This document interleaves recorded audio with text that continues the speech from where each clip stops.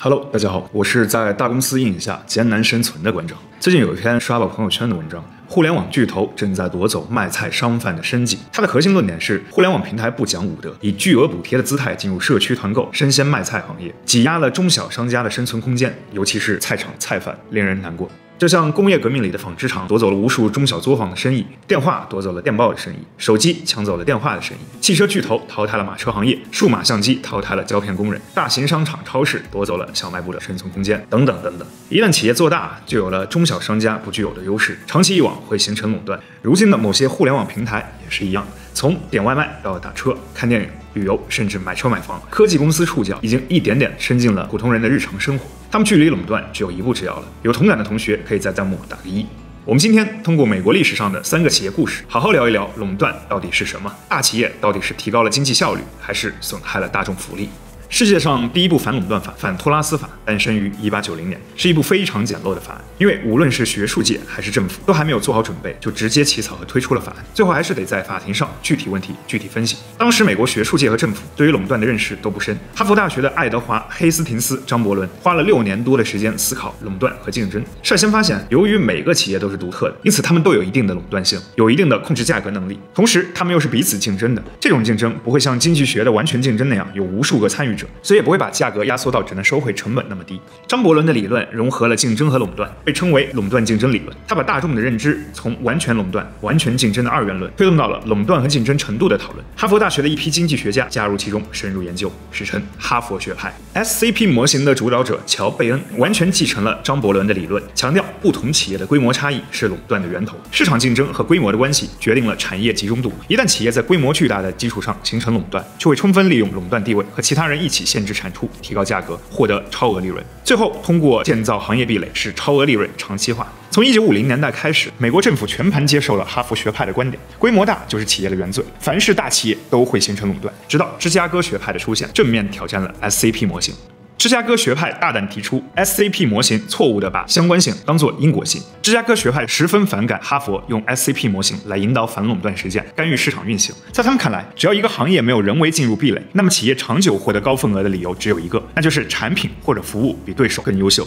如果按照 SCP 模型来反垄断，那就是惩罚一个优秀企业，这是在破坏正常竞争。当时发生的两起反垄断案件涉及的 AT&T 和 IBM，就是两大学派之间的交锋。既然哈佛大学认为规模大就是垄断，司法部立刻想到了美国电话电报公司 AT&T。一九七四年，联邦政府正式起诉 AT&T，理由是利用从电子设备获得的利润补贴电话网络，阻止其他运营商链接到本地制造商，通过拒绝购买非贝尔供应商的设备，垄断了电信设备市场。这个官司啊，一打就是近十年。AT&T 在一九八二年同意接受司法部裁决方案。一九八四年，这家全美最大的通信公司被拆分成七个大型区域型电话控股公司，只保留了长途电话业务和贝尔实验室西电公司，规模和销售额都被削减了百分之八十以上。大众和政府普遍认为，AT&T 的拆分推动了通讯领域的竞争和创新。过了几年后，才反应过来，打败垄断的并不是拆分或者反垄断法案本身，而是涌现出的技术创新。在这之前，AT&T 之所以能发展壮大，都是依赖于贝尔实验室的各种。专利商业化，政府反垄断的第一个杀手锏就是强迫贝尔实验室和 AT&T 开放晶体管专利，让美国公司免费获得专利授权。开放后，AT&T 还承诺不制造晶体管，于是，一大批后继者纷纷杀入市场。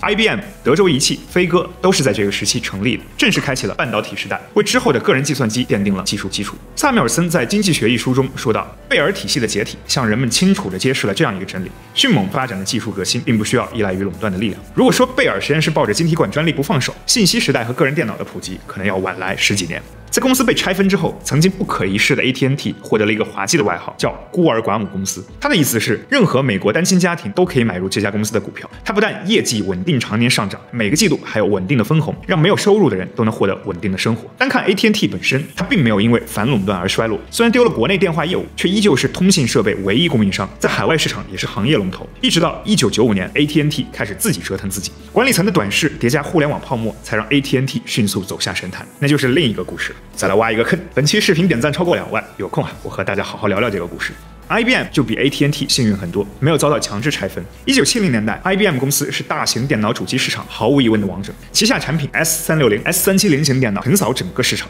体量太大就容易成为当局的目标。早在1967年，IBM 就接到过反垄断调查通知。这场诉讼从各种意义上都非常重磅，光是控制数据这一项诉讼，资料就多达一亿两千万页，精选出的文件重达八十七吨。IBM 为了应对，调集超过一千名法律专家，光是证人就超过四百人。出人意料的是，IBM 自知理亏，率先认怂。在被司法部起诉五个月后，IBM 宣布一项重大举措，把向用户捆绑式销售软件和服务的模式改为分别计价销售，也就是所谓的价格分离，相当于承认了当局的指控。随着诉讼的推进，IBM 又改变了过去软硬件生态闭环的做法。由于 S 三六零、S 三七零等大型电脑主机产品是公司的利润支柱，IBM 决定开放公司政治斗争的产物 IBM PC。从英特尔采购 CPU，让微软编写操作系统，同时开放软硬件技术标准，允许中小企业制造 IBM PC 兼容机。于是，商业历史上最戏剧的一幕发生了。一九八一年八月十二日，IBM 发布个人电脑 IBM PC。两个月之后，所有技术标准和细节完全公开，个人电脑 PC 在市场上大获成功。接下来，市场上崛起的新公司，大家就都很熟悉了。微软和英特尔就是诞生在这个时期，顺带着把惠普、戴尔、联想等制造厂商捧上神坛。他们从中小企业成长为各自行业的龙头老大，一个全新的桌面互联联网年代来临，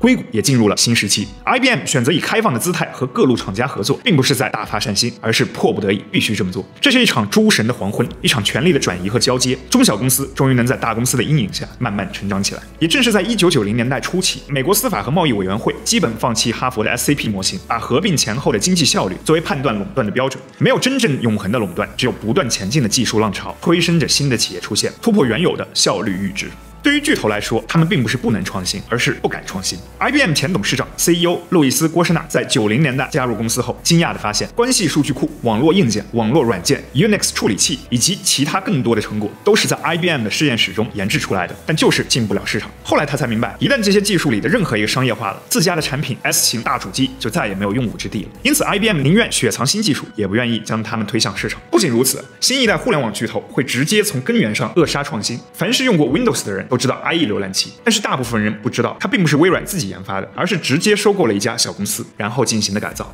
最早的浏览器公司是网景，它的故事和微软完全不同。它的成长速度惊人，从成立到上市，它只花了十六个月，而微软花了十一年。华尔街日报的说法是，通用汽车公司花了四十三年的时间才成为一家市值二十七美元的公司，而网景只花了大约一分钟。网景上市的时候还没有盈利，成立以来累计亏损一千两百七十八万美元。按照以往的成功经验，一家新科技公司最好在至少连续四个季度盈利后再考虑 IPO。但网景的成功颠覆了华尔街的想象。网景在纳斯达克上市，翻开了互联网公司造富神话第一页。一九九五年八月九日，网景在纳斯达克 IPO，当天股价从二十八美元涨到了五十八点二五美元，公司市值达到了二十一亿美元。网景创始人吉姆克拉克的股份在 IPO 当天价值六点六三亿美元，另一位创始人马克安德森身价也达达到了五千八百万美元。后知后觉的微软终于反应过来，直接从一家小公司 Spyglass 手里购买了授权，推出了自己的 IE 浏览器，采用捆绑操作系统的模式安装到用户的电脑里去。微软内部邮件说切断网景的氧气供给。后来的故事大家都看到了，在 Windows 巨大的市场占有率面前，网景不堪一击。另一方面，微软得到了市场和利润，失去了口碑，并且从1998年到2001年，微软和美国司法部展开了旷日持久的拉锯战，最后双方达成了和解。当时小布什政府决定不再试图拆分微软公司，而是禁止微软的搭售行为，同时要求微软确保 Windows 软件和非 Windows 软件的兼容性。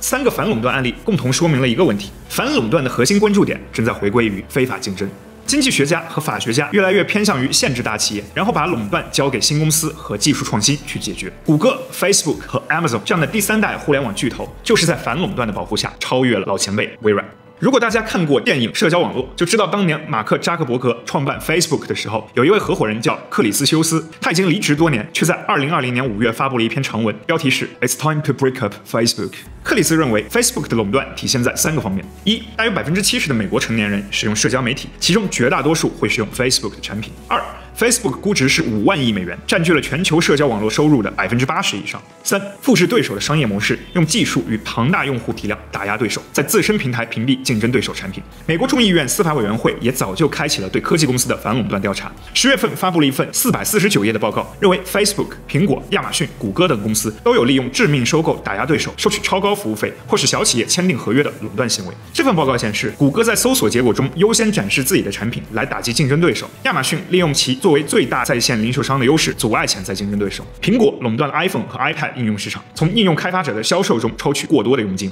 Facebook 为了维持和扩大垄断地位，时常采取收购竞争对手，甚至通过复制竞争对手服务达到目的。可以说，对互联网巨头的调查，正是反映出当下这个时代垄断与反垄断之间的战争又进入了新的位面。当大公司成为赛博时代的基础设施，如何防止他们滥用数据、操控市场和用户，成为了全新的主题。总结一下，反垄断诞生的一百多年来，走过了三个阶段。第一阶段反对的是大型企业托拉斯的联合形态；第二阶段是反对巨头的技术独裁与压制；第三阶段是反对无处不在的大数据和算法操控。美国的反垄断核心已经不再只盯着市场份额垄断，规模大不一定意味着被罚款和限制，它更多的是希望摁住巨头们骚动的手和跃跃欲试的心，防止他们利用自身在某一领域的垄断地位实施在另一领域的垄断。而在大洋彼岸的欧盟和美国的反垄断逻辑就有着巨大差别。欧盟很喜欢直接进行真金白银的罚款，他对微软开出十六点八亿欧元的罚单，英特尔的则是十点六亿欧元，谷歌的罚单更是高达八十二点三亿欧元。但罚款只是让巨头割肉，解决不了根本问题。如何给正在创新中的小企业更多生存空间，催生新一波技术革命浪潮，才是正确的方向。当互联网企业都朝着巨型综合平台发展的时候，就必须要思考会对行业产生什么影响，对每一个行业里的人带来怎样的影响。尊重每一个行业的历史，不是利用廉价资本侵入一个行业再摧毁它。